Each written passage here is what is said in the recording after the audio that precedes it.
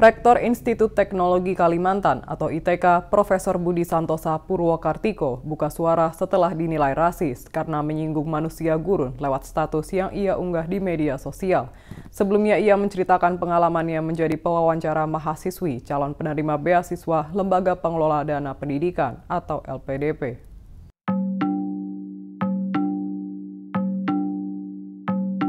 Budi menegaskan tidak berniat merendahkan wanita yang berhijab.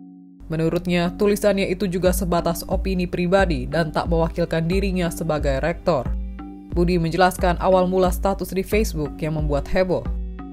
Menurut Budi, respon atas statusnya tersebut merupakan kesalahpahaman. Selain itu, kata Budi, statusnya yang menjadi heboh adalah konsekuensi bahasa yang dirinya tuliskan. Menurut Budi, tulisannya dijadikan alat beberapa oknum menuduh dirinya menjatuhkan wanita yang mengenakan kerudung.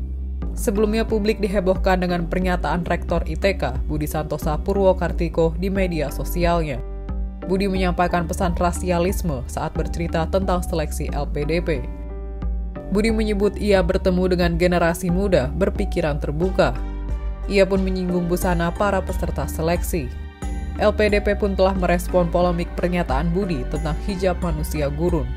LPDP menegaskan penolakan terhadap aksi diskriminasi.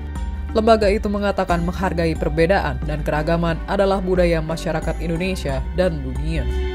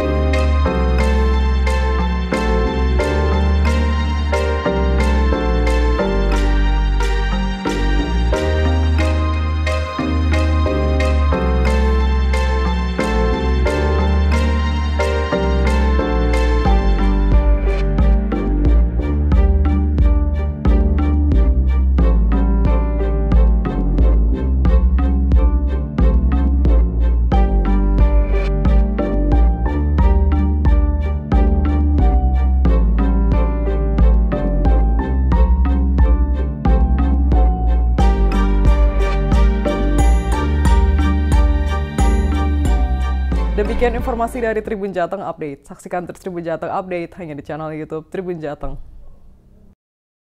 Ikuti update terbaru dari sosial media Tribun Jateng.